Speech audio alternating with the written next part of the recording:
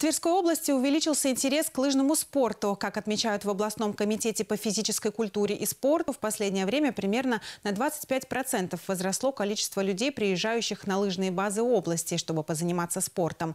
Кроме того, в спортшколах отмечают активный интерес родителей, детей и подростков к вопросам записи в секции лыжного спорта. Это в том числе связано с успешным выступлением российских спортсменов и, в частности, тверитянки Натальи Непряевой на Олимпиаде в Пекине. Сейчас в регионе действует 21 спортивная школа, культивирующая лыжный спорт. Из них две Олимпийского резерва. Лыжными гонками в учреждениях занимаются 1545 человек. Из них 7 мастеров спорта России, два кандидата в мастера спорта. Обладателями первого разряда являются более 100 спортсменов. Массовых разрядов свыше 400. В школах работает 51 тренер по лыжным гонкам. Что касается развития лыжного спорта в регионе, то правительством области выработан комплекс мер для реализации в данном направлении.